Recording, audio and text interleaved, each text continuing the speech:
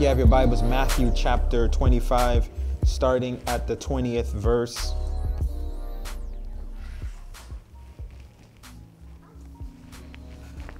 And it reads So he had received five talents. So, so he who had received five talents came and brought five other talents, saying, Lord, you delivered me five talents. Look, I have gained five more talents besides them. His Lord said to him, Well done, good and faithful servant. You were faithful over a few things. I will make you ruler over many things. Enter into the joy of the Lord. He who also had received two talents came and said, Lord, you delivered to me two talents. Look, I have gained two more talents beside them. His Lord said, Well done, good and faithful servant. You have been faithful over a few things. I will make you ruler over many things. Enter into the joy of the Lord. Verse 24. Then he who had received the one talent came and said, Lord, I knew you, you to be a hard man, reaping where you have not sown and gathering where you have not scattered seed. And I was afraid, and I went and hid your talent in the ground. Look, there you have what is yours. But the Lord answered and said to him, You wicked and lazy servant, you knew that I reap where I have not sown and gathered where I have not scattered seed.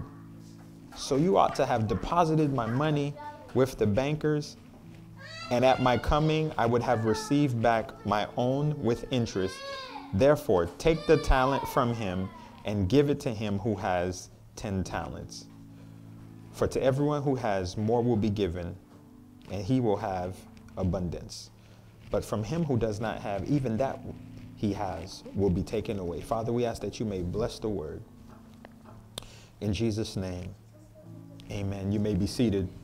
We are continuing, we are continuing into our series of keys. Say keys. Yeah, essentially life keys. We're continuing, and so today is a really good day because today I'll be giving two keys. Amen. So today we'll have one key, and then this afternoon at 2 p.m., we'll have another key.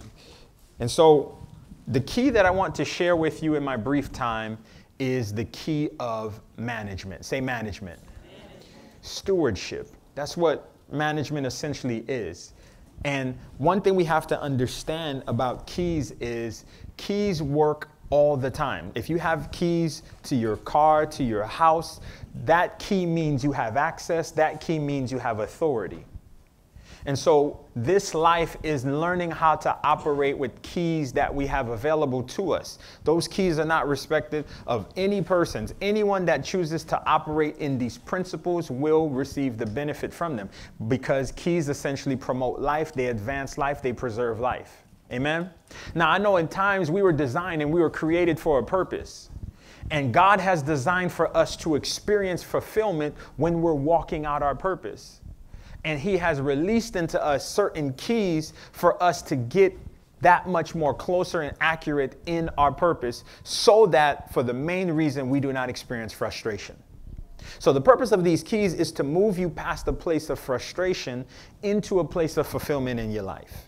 God's desire is that everyone that He created walks and lives a life of fulfillment. Can you say amen?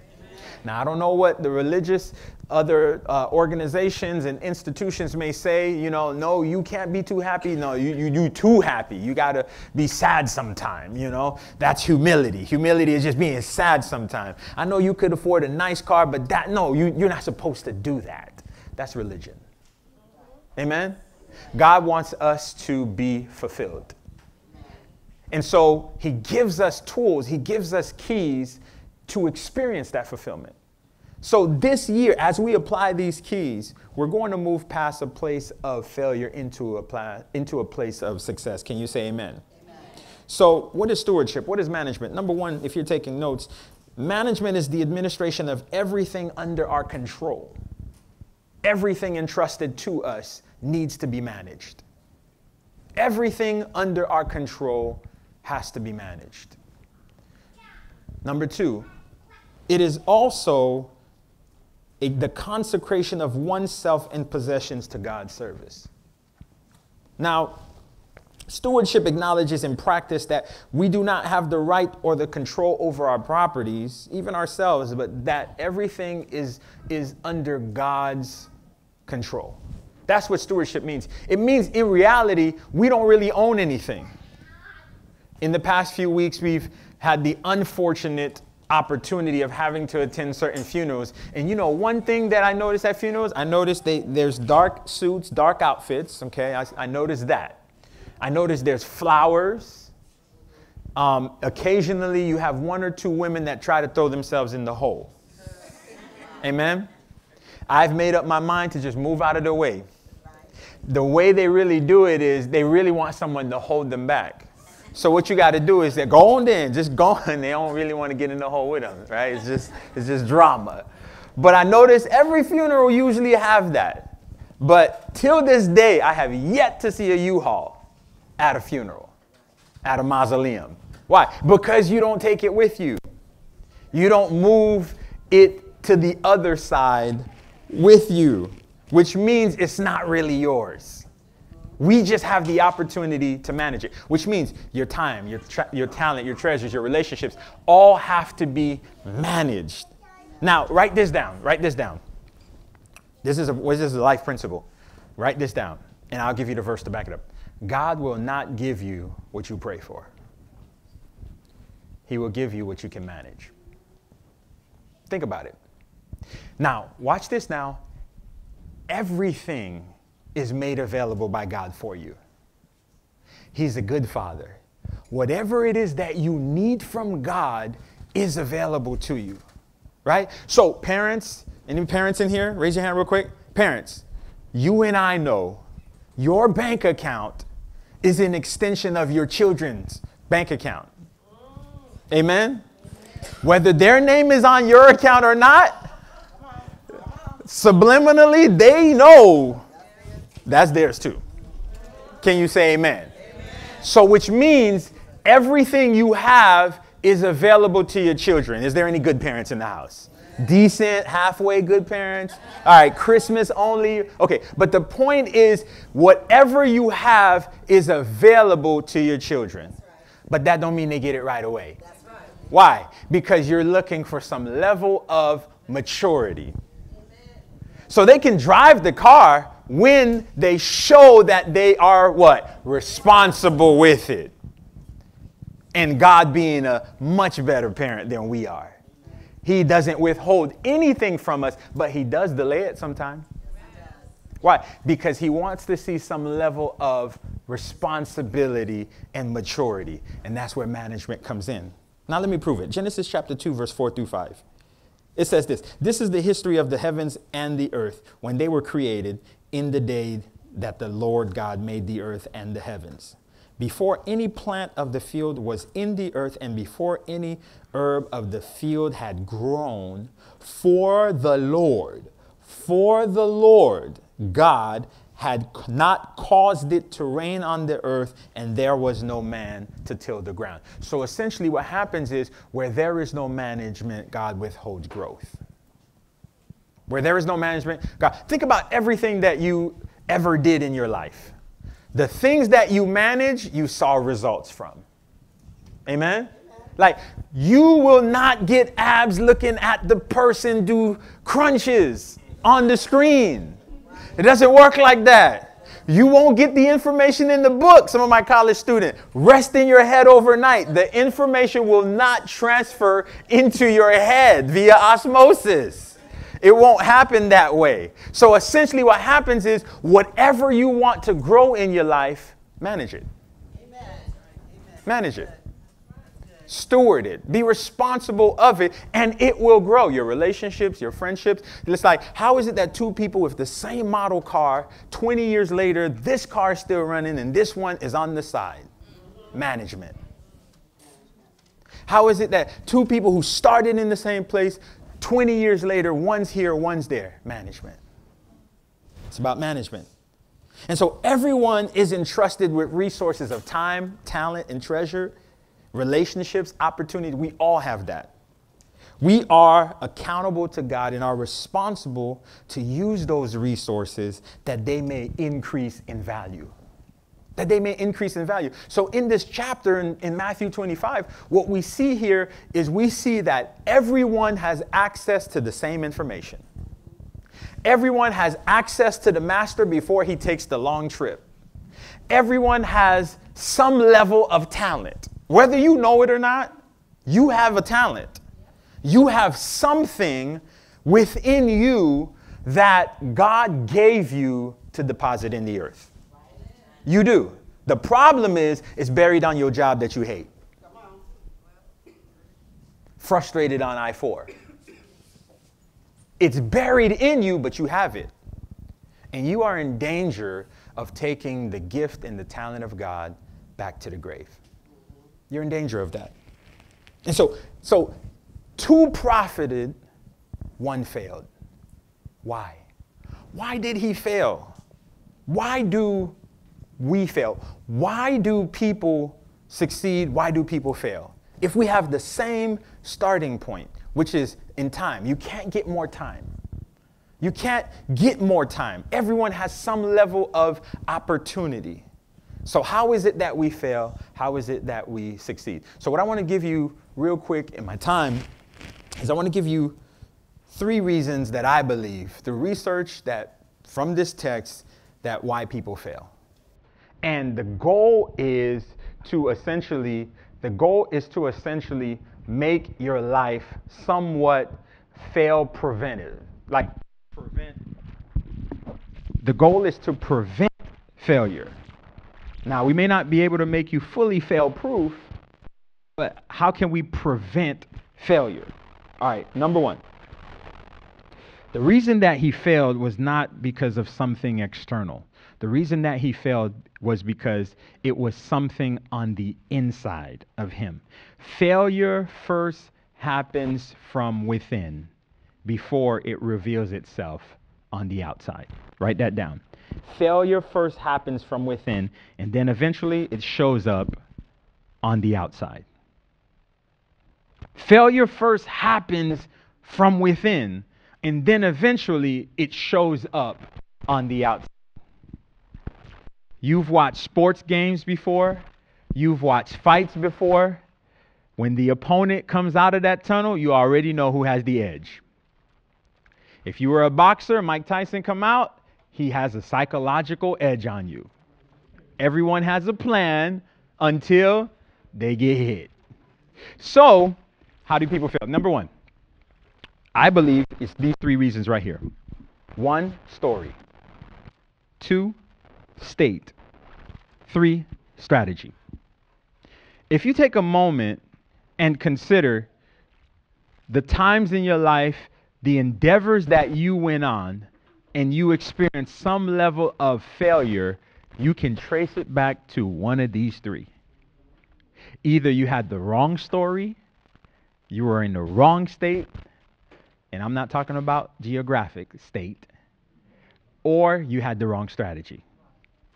Or the strategy was not the best strategy to experience the success. All right, let's put it in layman's terms. You either had the wrong mindset, you had the wrong mood, or you had the wrong mechanics. We fail oftentimes because of the wrong mindset, we're in the wrong mood, or we have the wrong mechanics. You got the wrong story, you got the wrong state, and you got the wrong strategy. Or the, you don't have the most efficient or effective strategy. So let's look at them real quick. So, um, story. In Matthew chapter 25, verse 24, it says this Then he who had received the one talent came and said, I knew you to be a hard man. I knew you to be a hard man, reaping where you have not sown and gathering where you have not scattered seed. So, first of all, his story was off. So he automatically assumed that, man, this guy's rough. He's tight about his money. I'm just going to put his money away. And a lot of times we don't experience success in life because we create our own narratives. Oh, I'm not going to go over there. They're not hiring. I'm not going to ask for a raise. We're in a recession. There's, there's not enough, there's, the budget is not there. Well, I, I can't, we tell ourselves why we can't do certain things. So the story that he is now creating is a false one.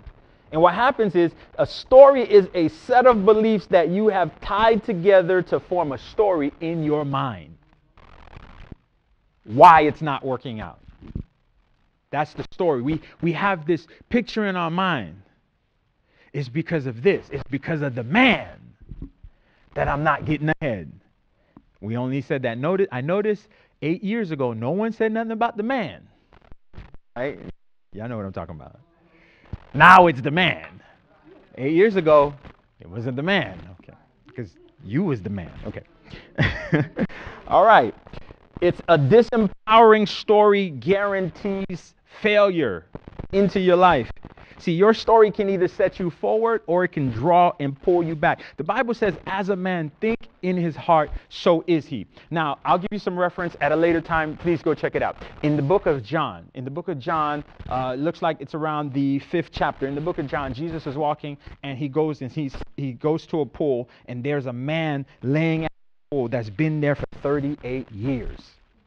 Laying at the pool, right? And he comes up to the man and he says, Do you want to be made well? First thing out of his mouth is, Have anybody to move me into the pool? That's his story. That's where his mind is. If I could just get into the pool, but he don't even have the he don't even have the confidence to move one inch per year, one feet per year, close to the pool, roll a year. You know, just just something. He's in the same place complaining. And a lot of us, we would rather complain than inch by inch. So what if it take 10 years to get your master's? But you know what? 10 years later, you got your master's. So what if it you 15 years to get your house? But you know what? You got your house. Whatever it requires, you got to do it. And so the story, he rather stay on the story than make a change and make a decision. And so he rather stay there. I don't have anybody to push me in. But let's look at the counter, because sometimes men, we tend to be more negative sometimes, but the women are like, they're positive, right? So, same Bible in Mark chapter 5, she said to herself, the woman with the issue of blood, she sees a crowd, she sees the hindrance, she sees the limitations, and she says to herself, if I could, I can't, I, I can't even touch him. If I can just touch what's connected to him, so, so she has to now get down, crawl through, and connect to him. Why? Why did she do that? She did that because she convinced herself before she started that if I can just touch him. And so some of you guys, all you got to do is convince your mind first. Look, if I could just get a thousand dollars to start the business, just the, just the, I'll, I'll, I'll figure the rest out and you give yourself a goal, a benchmark. Why? Because God can do exceedingly. But you go, I don't have any place to start. I don't know where I'm going to go. I don't know who's going to give it to me. I don't know who's going to support it. Right? So so your story will drive your life's responses. If you don't like the responses of your life, change your story. All right. Let me give you this. Write this down. Faith is speaking before seeing. Faith is speaking before seeing and behaving before beholding. Faith is speaking before seeing and behaving before beholding because behavior follows belief. I know what you believe based on how you behave. Yeah, man, I'm going to be a millionaire one day. Home all day. How many books did you read this year? None. But you know all the latest shows. You know who got shot and who got killed, who coming off the show, who coming on the show. Right? I had a friend of mine. Um, we was in sports management together. And for years, I would tell him, it was from city to city, for years, I would tell him, because he was around all these NBA players and he knew all of them on a personal basis, chill with them in the summer. I would tell him for years, I'm like, yo, you know so much about basketball. Why don't you go work in the front office? Why don't you learn from the agent? He would, he just would chill. He just would chill until his time ran out. until his time ran out. He didn't maximize or capitalize on the opportunity that he had. And so your belief drives your behavior. So based on what you believe, you're going to behave like it. And so check your like if check your behavior because your behavior is telling on what you really believe. A year ago, we believed if we can just start, if we can just get into the school, we'll figure the rest out. If we can just start. That's what our belief, and we behave as such. And you know, when you're when you're when you are not sure and you're trusting God, that's not the time to show that in front of people. Like you could go in your prayer closet, I scared, like, oh Lord, I don't know what I'm going, I don't know what's going to people. Oh God, is this gonna work? But after you come out, like, God's got this, we got this. We got this, y'all. Come on. Like, oh Jesus. I told these people we starting the church. But that's how it starts though. That's how it starts. Like God wants to see, do you really trust me? Like jump. Like, am I going to jump? Am I going to cr- die, crash, jump? Amen? All right, so number two, state. Your mental and emotional perception about your life and experiences creates your mood. Your mental perception and your experiences, they create your mood in your life. So you you start on this track where you start this story. This is what's going on. This is what's going on. We have a victim mentality. This is why it's not working out. And eventually that mindset creates our mood. You know some pessimistic people? Like, like, man, like I remember I was like, man, it's a nice day outside.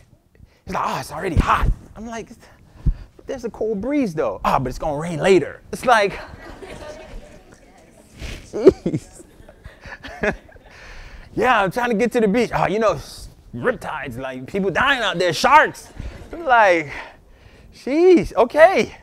You know, but that there's people who what they they they bask in a negative environment and they exude it like cologne like you can just pick it up and you got to be careful because you take your baby your dream around them they'll abort it not even intentionally not even intentionally right because they're dream killers naturally you know they just seek the next living thing and kill it with their pessimism so you gotta. So what you working on? Not much.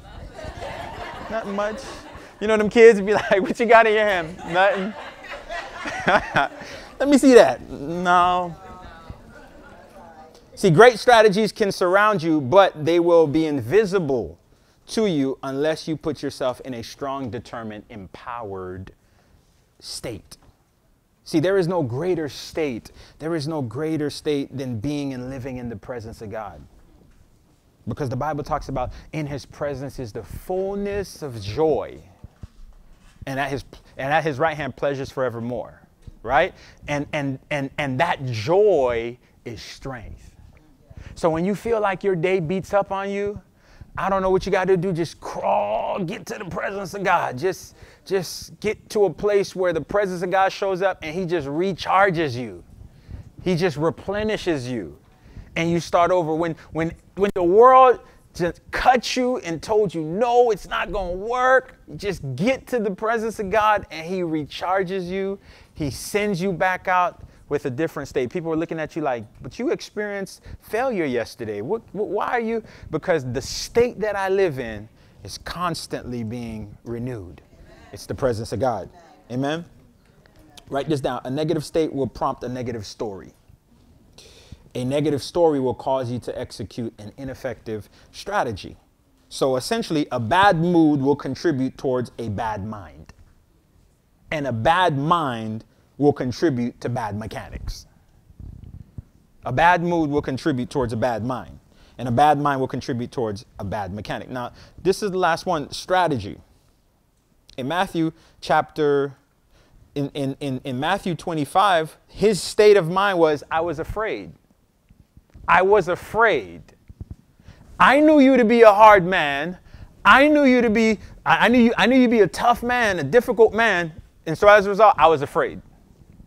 So, so I didn't come talk to you. I didn't assess. I just assumed you're a hard man And that made me afraid. You got to be careful with that. Assuming will rob you of opportunities in life. Just have the tough conversation and move on. I was watching this show, one of my, you know, show that I got into late. Some parts, it's like, okay, not too fond of that, but whatever, we'll watch it. So I was watching the show, and everything could have been resolved if they just communicated. No one communicated, everyone assumed people got dead. And in life, that's what it's like sometimes. No one communicates, we just assume, and what happens is we make our own conclusions off of assumptions. Right? And so this is why this next part, he says, I was afraid. I knew you'd be a hard man. And look, let's look at his mechanics. He took the fear, he took the assumption, and he went and buried the talent. And he buried the talent. I went and hid your talent. See, strategy is the actions you take to reach a desired end. So, in order for us in life to find what works in strategy, you have to find someone that has proven that it works. Because while they're there in the house and the master's still there, they immediately went and started interacting with the talent. So when you have a talent in your hands, find someone else who's working with their talent, who's developing their talent, who's doing it. Why? Because you can glean from them. See, there, what happens is mentorship and accountability will protect your strategy. It'll protect your strategy. I'm so glad I have mentors in my life that I can go and go, hey, I was thinking about buying this. And he goes, oh no, don't buy that. Don't spend your money on that. There's money available to get that.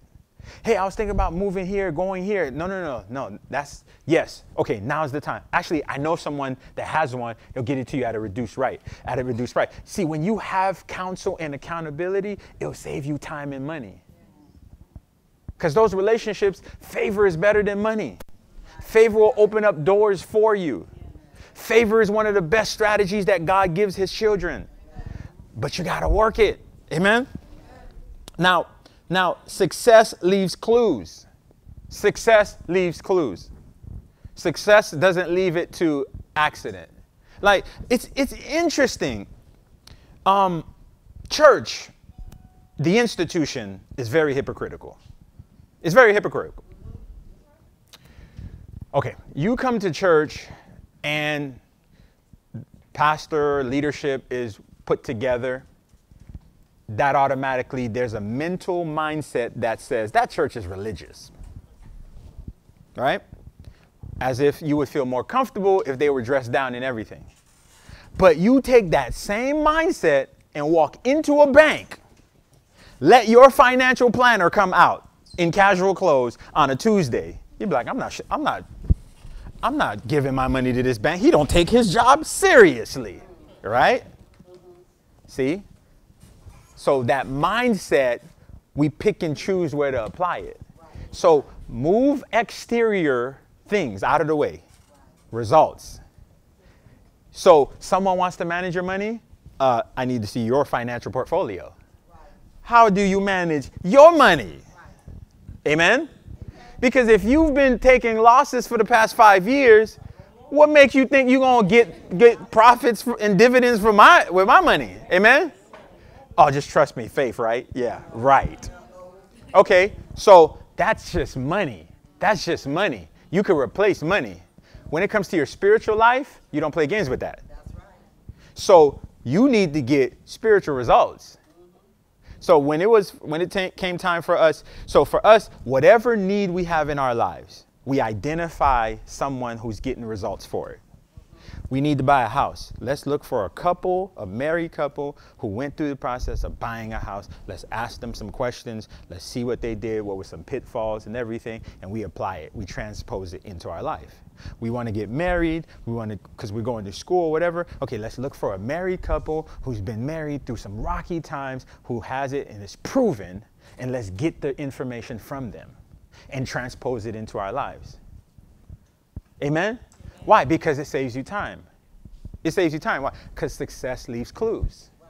Whatever you're missing, you don't have to reinvent the wheel. Look around you.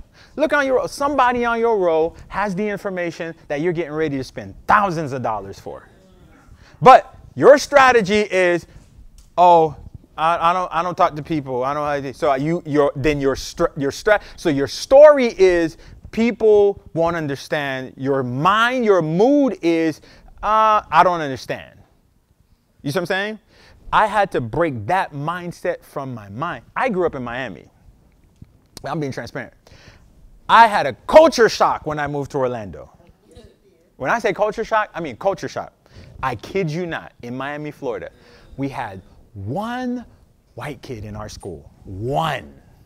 I can still remember him now, just running through. Right? I moved to Orlando. We moved to Orlando, and our parents put us in Dr. Phillips.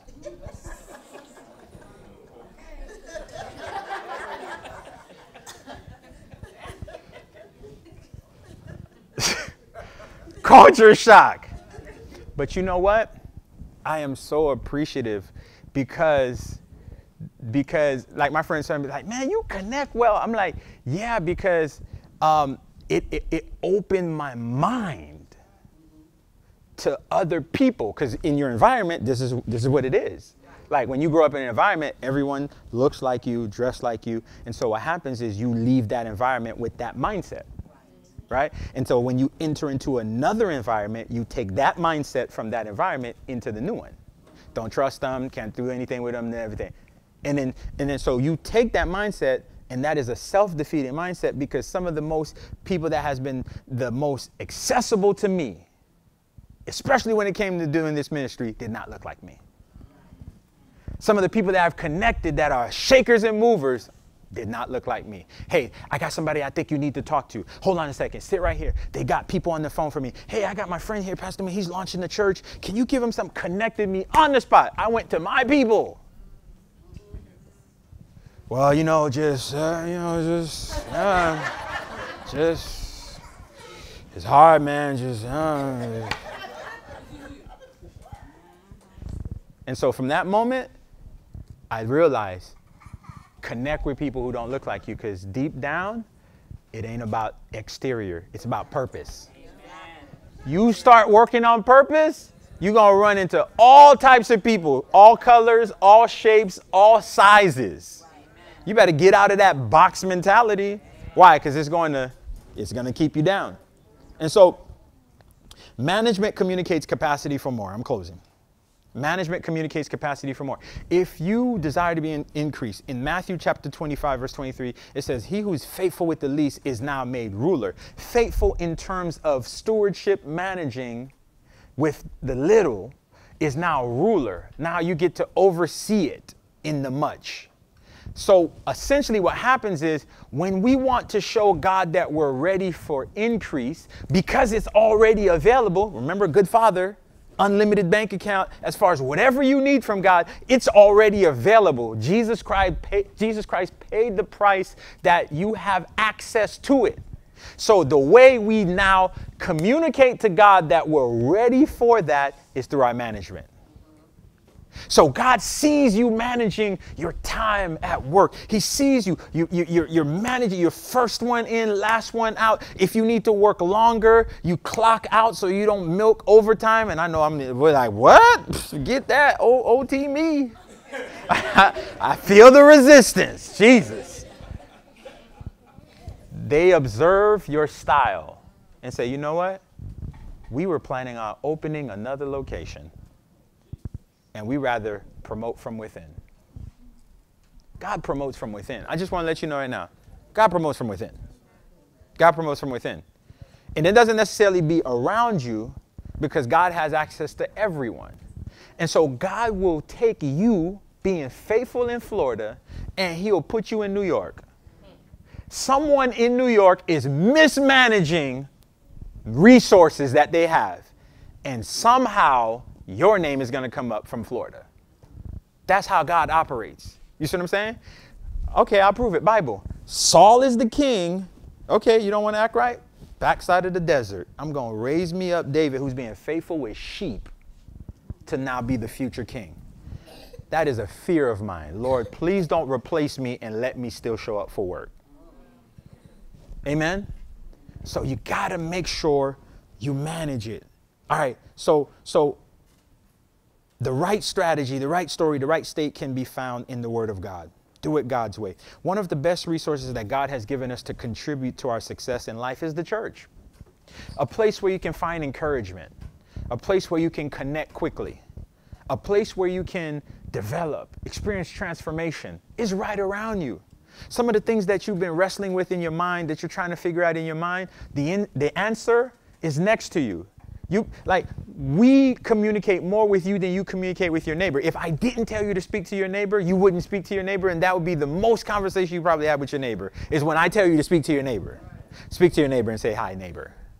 See, that might be the most you most conversation you have today, and you have no idea who's sitting on your row. You have no idea what is on the inside of them you have no idea what they're going through. You have no idea. But we just rush in, rush out, rush in, rush out, right? No, we have to connect. We got to manage this. We got to manage this. Because from this, remember I told you in the last keys, everything you are going to have, you have now, you will have, or you won't have, is a result of your relationships. Think about it. Everything you have now came by way of a relationship. Everything and everything that you're going to, because the Bible says, give and it shall be given to you. The Bible says, running over shall who? Men. So God's going to get it through people. So if you don't like people, if you find yourself limited in resources, check your relationships. If you find your resources drying up, to where if your job is going to be taken away from you and you don't have at least five or six people that you can call as a reference, you're doing really horrible on your relationships. Amen. They're there for that. Hey, hey, I'm in, I'm transitioning. You know anybody that's hired? Actually, yeah, we are. Yeah, send me your resume. But you be like, oh, I'm going through trans- fasting, praying. Oh God, oh God, Lord, please make a way. I bind every in the name of Jesus. Let every door be open now. No relationships. So you done binding, you done loosing, no relationships. Amen. Get relationships. Management is a very practical key. So three things. Why did he fail? One, he failed because his story, his state, and his strategy were not conducive for success. He had the wrong he had the wrong three. He failed because his mind, his mood, and his mechanics were not aligned for success. Number three, he had the time, he had the talent, he had the treasure in his possessions, but because of fear, he did nothing. As we close with all heads bowed and eyes closed, manage your resources, manage your time, manage your talents, manage your relationships, manage your opportunities Listen, you have everything you need to be successful. I promise you, you do.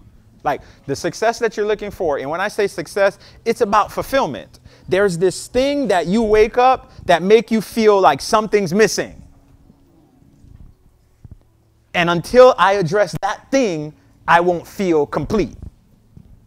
Now we plug it in with different things like, oh, I need a man. That's not it. Oh, and people get on drugs and different things. That's not it. I'm talking about the reason for which you were created that's what drives you every morning. Which means you have all of the tools you need, but you have to manage it. Some of us, the answers are sitting on our bookshelf, but we never crack the book open. So I want to challenge you this week. Start using your resources better. Start working on the tools that you have. You have time. Sit down and map out your time for the week.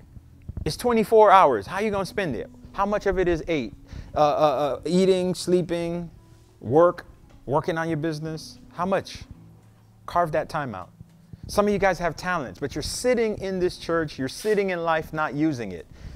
I'm here to put a charge on you. After we cross over this anniversary, we put a divine demand on every talent that you have on the inside of you in the name of Jesus.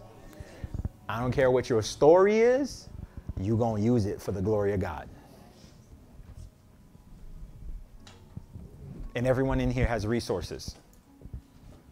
$5 a day Starbucks coffee can be an investment. We renovated a locker room. Resources could have did that. You can leverage your business to do good. Resources, you have it. but what are you doing with it?